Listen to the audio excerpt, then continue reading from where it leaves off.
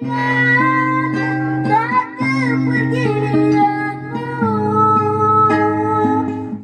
oleh Allah Subhanahu wa taala di alam sana. Dan orang tua kita semuanya juga sama. Semoga dilapangkan di alam kuburnya. Amin ya Allah. ya Allah. Baik, untuk selanjutnya Sulaiman juga ingin mempersembahkan sebuah lagu apa saya? Hafiz Quran. Ya, silakan.